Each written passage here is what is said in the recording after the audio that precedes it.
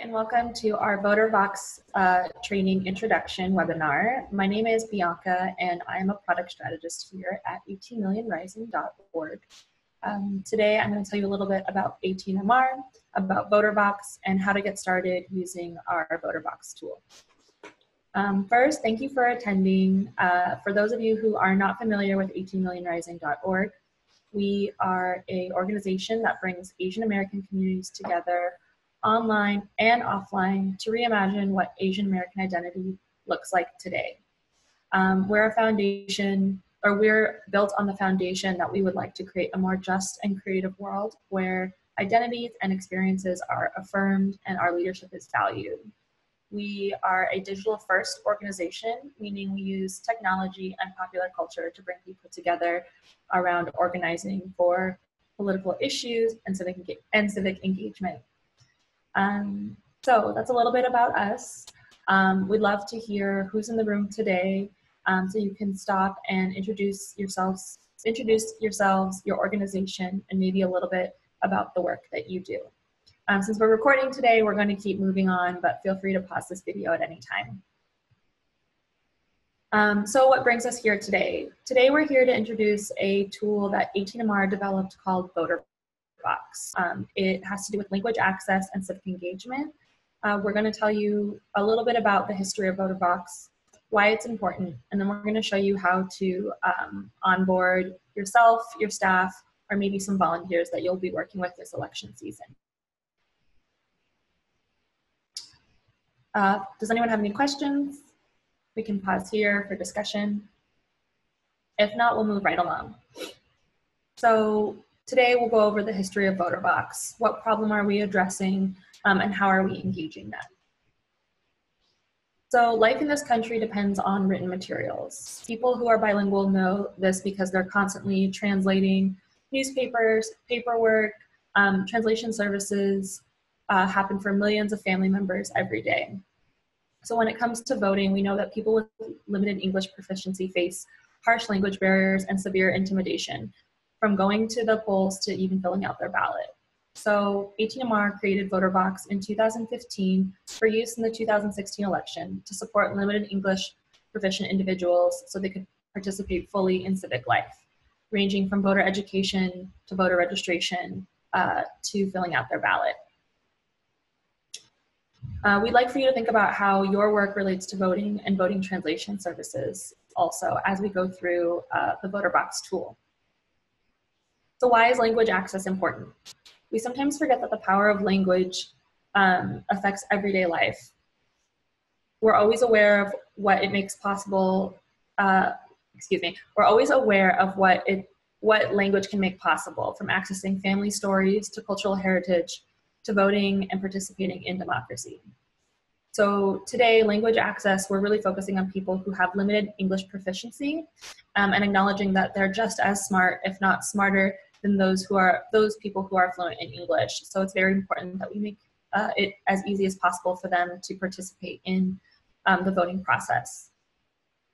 We know that APIs, APIs, uh, Asian Pacific Islanders, are three times more likely than Latinos to cite language barrier as a reason for not voting.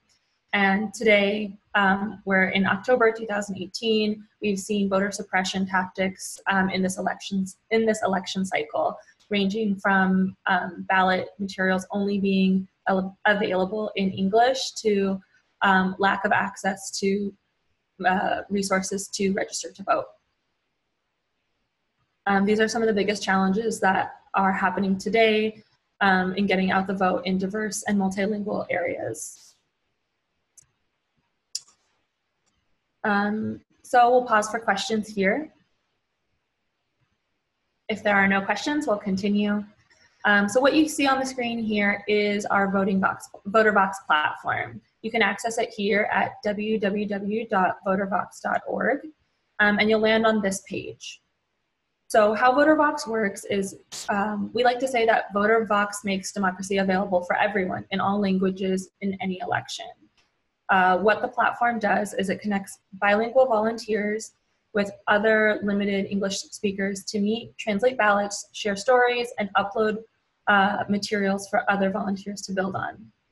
We've partnered with community-based organizations in order to support existing volunteer efforts and also provide this tool as a way to make their work easier and faster.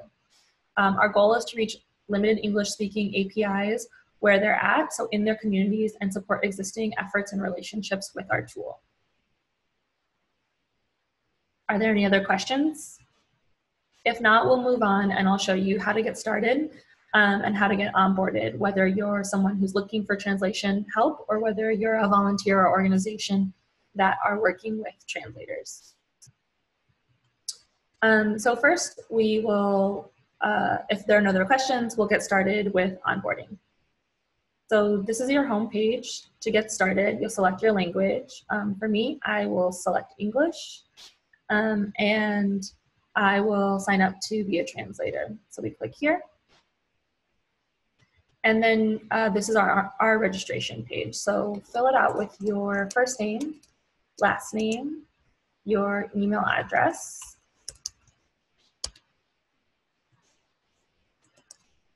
phone number,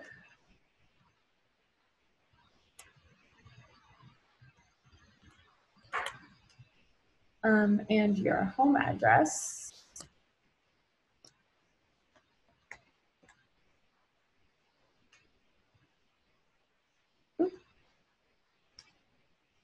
um, your organization. So I'm with 18 Million Rising. Um, and any language that you speak proficiently. So today I'll be choosing Arabic and Japanese. Um, you can upload an image of yourself or leave this blank. Today I'll be leaving mine blank. Um, and enter an easy password you'll remember.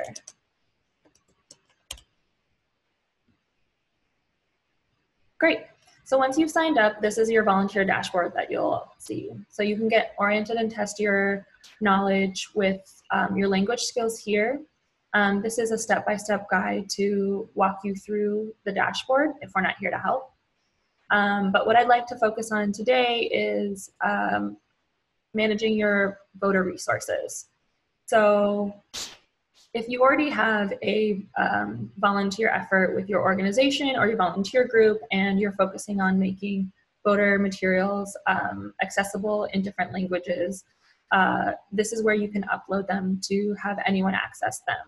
So you can see here, we have a variety of materials that are already available from other volunteers, um, but I'd like to add a translated resource today. So we have a voter guide available. Let me just pull this up. So it's California voter guide. Enter your title here the original language that the document was available in. So here we have English. It's translated into Mandarin.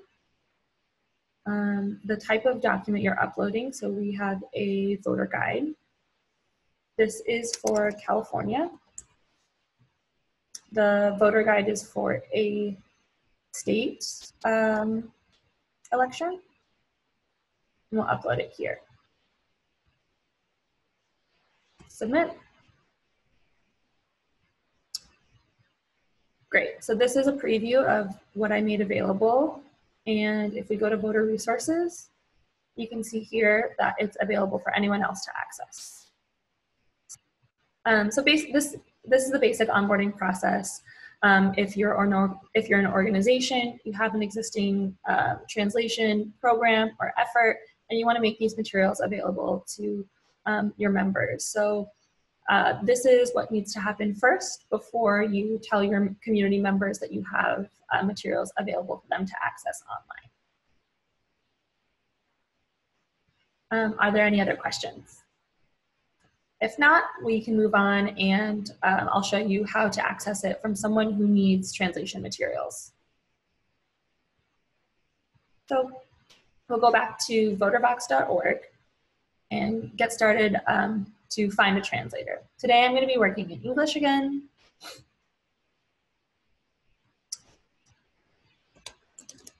Can sign up. My preferred form of communication is email. My contact information.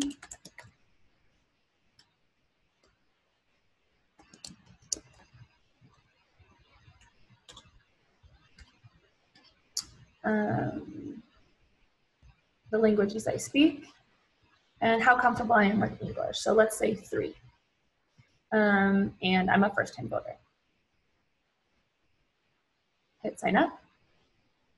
Great. So this is what the um, dashboard looks like.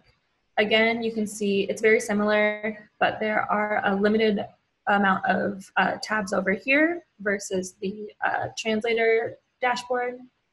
So again, say I now am on the other end of our, uh, excuse me, our audience, and I'd like to access the voter guide that was uploaded by my community organization. So I'll go to my voter resources, um, and you can see here the California Asian American and Pacific Islander voter guide for this 2018 election is available here. I click on it, And now I can access this material from the comfort of my home. This is especially helpful if someone is voting by mail um, and they'd like to take the time to review these materials from the comfort of their own home. Or it's also um, a great resource if you're voting and you'd like to review these materials before you go to your polling station.